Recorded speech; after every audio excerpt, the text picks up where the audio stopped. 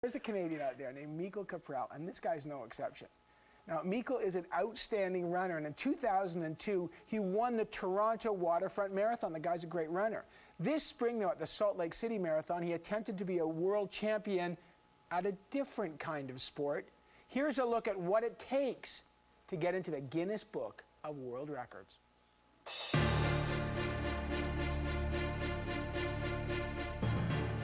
It is brutally painful and challenging, but that's what I love about it. No one can say, you must not run faster than this. The human spirit is indomitable. Those are the words of the legendary runner Roger Bannister, the man who broke the four minute mile. And like Bannister, Michael Kapral is pushing the limits. He's come to Salt Lake City to try to break a world record, one held by his arch rival, Zach Warren. It's the ultimate test of endurance 42.2 kilometers of pavement, persistence, and pain. And the prize? The Guinness World Record for running the marathon while juggling. Well, technically, it's called joggling. And the 34 year old Canadian Michael Kapral and his 25 year old American rival Zach Warren are the best in the world. And two kilometers into the Salt Lake City Marathon, they're side by side, both trying to beat a time of 2 hours and 52 minutes. How fast is that? Even without juggling balls, that time would put them in the top 2% of marathon runners in the world. And as I discovered, joggling at that speed takes a lot of training. So this is it. All right. This is joggling. Now I'm looking bad. at the ball. Holy smoke! Yeah, eventually you don't have to look at the balls. You don't Just have to look at the look at the road ahead. Yes. oh, Okay, so what hey, we both dropped. So what happens? So once you drop it, you Yeah. go back to your drop point. Yeah. You go behind it, a couple Yeah. steps, Yeah. and you start again. Start again. Okay. Yeah. Oh, jeez. Yo-yo on both sides. Yo-yo on both. Oh yeah. So tell me how your career as a joggler began. My career as a joggler began when I, well, really, I was about 12 years old and I read the Guinness Book of World Records and there was a joggling record there. And I, I thought, that is the coolest thing. I was a bit of a geek. Yeah. And, uh, At least you're a self-aware geek. Yeah, and uh, so I went out and I had juggling balls. I knew how to juggle. Right. I knew how to run, and I went out to a park and I tried it out, and I it worked. Can I, can I ask you a question? Sorry, we're joggers as well. Have you ever juggled and jogged? No, never. Do you know this is the world famous joggler right here? Yeah. You, you heard about him? Now, now, in the jogging world, is he considered a maniac, uh, a weirdo, or just an incredibly gifted athlete? I think a little bit of both. Thank you. So breaking world records, that's part of your goal. That's your drive. That's part of it. Yeah, it's just uh, just being the best in the world is something that feels good. And so joggling was essentially a fallback position for you. Like you thought, this is something I could do. Could it have been anything else if it wasn't joggling? What could it have been? Well, I did break the world record for fastest uh, marathon pushing a baby in a stroller. the, the year before, I was uh, the joggler. I just love talking to you. And yes, it's true. Michal finished a marathon in 2 hours and 49 minutes while pushing his daughter Annika in a stroller, beating the old world record by 16 minutes. But now he's focused entirely on reclaiming his joggling record that he lost last year. Who's come up to challenge your crown? A guy named Zach Warren, who's a Harvard uh, divinity student. He came along and uh, he had read about my record and uh, ended up breaking it, breaking my record by 41 seconds.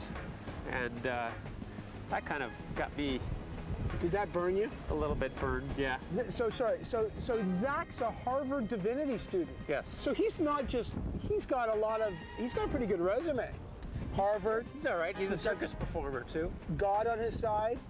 How do you how do you go against that an Ivy League religious circus performing joggler, who's by the way significantly younger than you?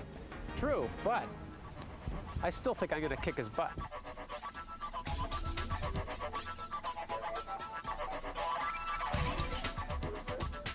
But 20 kilometers into the race, Michal's having a hard time kicking Zach's butt. Once again, Zach is pulling away. My goal in the Salt Lake City Marathon is to break 252.15. To break to break that record. That's my goal. So my strategy is I don't I don't juggle until the week before the race, and then I'll do maybe one run while juggling because I'm a, I'm a, I used to work in a circus. I already know how to juggle. I do it all the time. I do shows all the time, so it's not a big deal. I have a feeling Miko's gonna break it too. I just have a feeling he's he's not a he's a fast runner. He's he's got a lot in him. He's not gonna give up. He's you know those daggone Canadians just won't give up. At a water station several kilometers later, Michal finally catches Zach, and then he takes a risk. Unlike Zach, he chooses not to stop and take a drink of water. He forges on ahead. In the official rules of joggling, a runner must be juggling every step of the race, turning water stations into a lucrative spot to make up some ground. It's all part of the psychological battle of the joggling marathon. And now Zach has to fight to close the gap. Now, is it a sport? I mean, because of course there is a clown element here. Some people may laugh at you. This guy's a nutty. He's a crazy guy. This is a foolish thing to do. do. You know, is it a foolish thing to do? No, it's a great thing to do. It's a wonderful sport, and uh, every year or month that I do it, I grow to appreciate it more. There's a lot of uh, a lot of nuance to the joggling. If you think too much about the juggling, then your running slows down. If you think too much about the running, then you drop a ball. Since you are essentially the Tiger Woods of the sport, give us an idea of the kind of money you've made in the as a joggler. Sure, uh, I've made exactly zero dollars. Nice. Yeah, it's um, my wife wishes it was a little more. Right. You know, we're we're struggling with uh, with the whole you know cash flow from the juggling career. I have trouble justifying it. And- what's your? How do you do it? well, it's something that I enjoy doing, and so my wife sort of uh, is has been incredibly supportive for because I guess she loves me. And, Isn't uh, isn't that the greatest miracle? How blind love is, really. but is it really just about getting your name in some book? How proud does it make you to be in the Guinness Book of World Records? It probably shouldn't be that important, but it is. There's one guy here that has put eight rattlesnakes in his mouth for 12 seconds. He's in the book. There are people that are balanced on one foot for 84 hours. In other words, this is a club that many people would not necessarily want to join. No, that's Why true. did you want to join this club? Well, I didn't want to join that club, but there are some there are some other really interesting records in there, and there are some that uh, are amazing achievements where you think, "Wow, I can't believe someone could do that." So that that's part of the the incentive is to just do something that's kind of to make someone say, "Wow."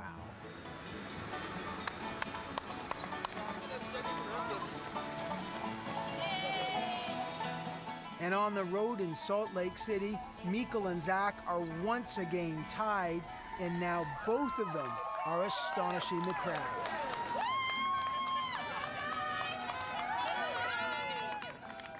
What's your plan?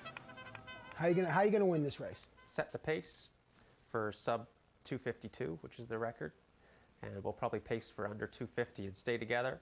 And towards the end, I plan to make a move and uh, just pull away, maybe in the last 10k. What if he keeps up with you? What are you gonna do? You, you, you're just gonna have some stuff in the tank left. I hope so. If he pulls, tries to pull ahead, I hope to just stay with him and then just try and outkick him. Right. Not not kick him though. Not literally kick him. No. Not Yeah. you not kick his balls away. No, I won't be touching his balls. There are now just seven kilometers left. Michal and Zach are running the pace they both predicted, sub 250.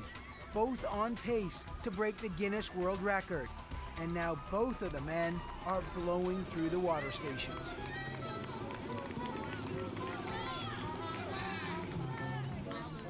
Yeah, my nightmare is final sprint, last 100 meters. I'm just ahead of him. I'm going to take him. Bam. I drop a ball. Big nightmare. But it's Zach, the circus performer, not Miko, who keeps dropping his balls. And that's a sure sign of exhaustion. With a mere five kilometers until the finish line, Zach actually stops to take a drink, and Miko finally surges ahead, making his move.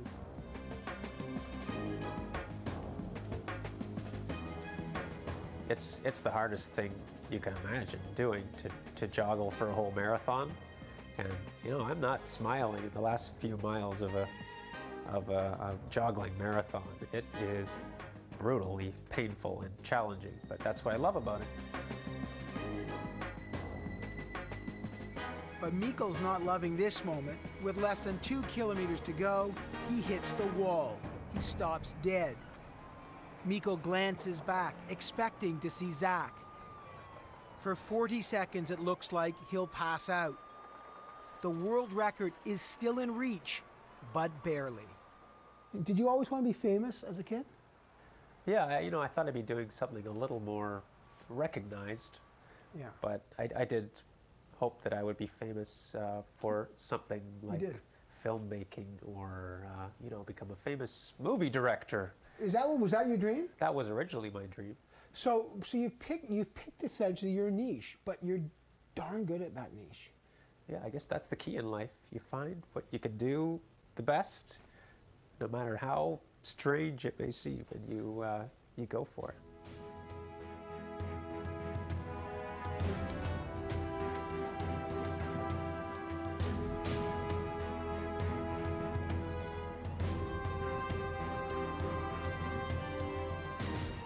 Maybe that's what elevates Michal's joggling from an obscure obsession.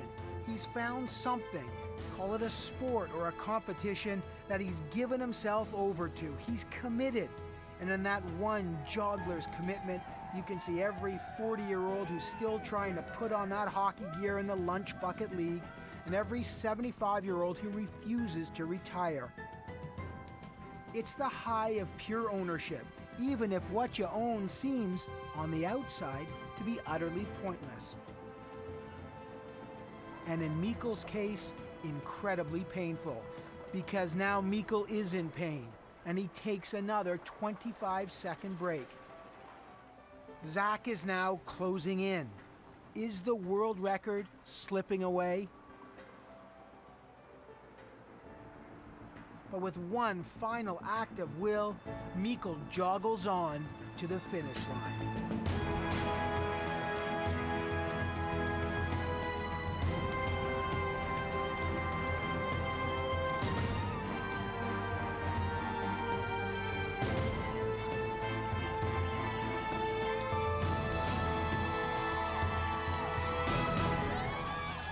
He did it.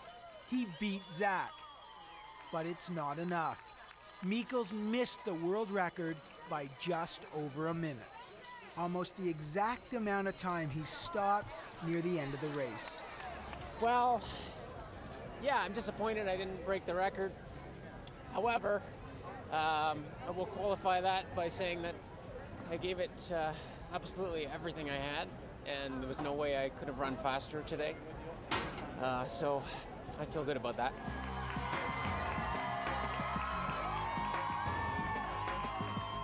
Zach finishes three and a half minutes later, and the greatest joggling duel in history is over at last. Like this is like sports. This is a sport. It feels like I don't know. Should be an Olympic event almost. Man, I we missed it. I was hallucinating. I thought I was gonna pass out. 24 miles. And in his state of exhaustion, Michal realizes that his days of chasing records may well be over. I can't, uh, I can't be doing this again. It's, it's too much. You feel like you, you drain every possible drop of uh, mental and physical energy, and you, you wonder if you'll ever get it back again, you know. But I just couldn't catch his record, so I guess uh, I won the battle, but he won the war. And what a great battle. As much as the, the sport seems funny, that it, he really is a great athlete. Now, here's the coda. Michal Kapral has decided to give up joggling. Since that race about a month ago, he has not jogged and juggled.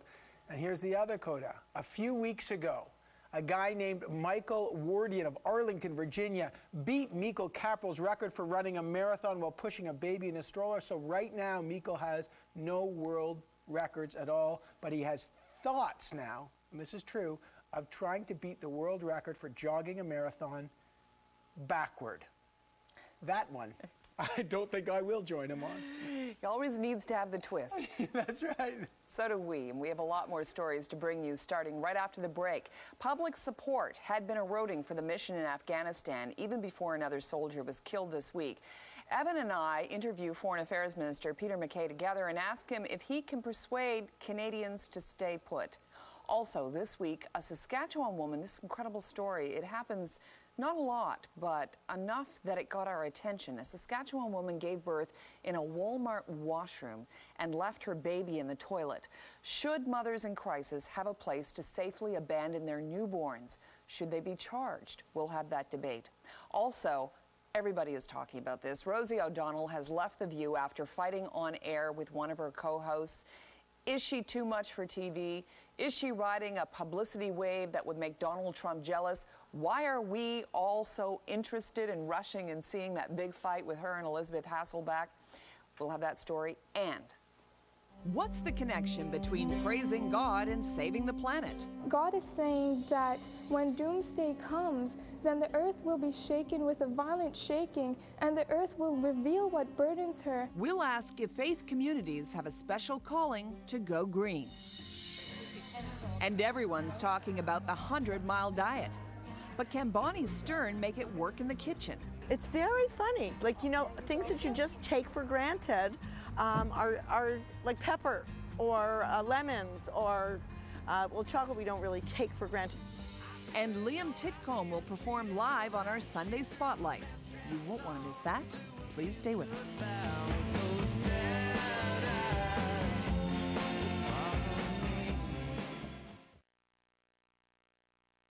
Would you pick as Canada's Seven Wonders? The National and Sounds Like Canada want to know. Make sure your favorites make the list. Visit cbc.ca slash seven wonders to cast your vote. And watch for the results on the National and Sounds Like Canada. To learn more about Rona by Design, visit rona.ca. It's your interactive tool for renovating in style. Rona.ca from the Canadian How To people.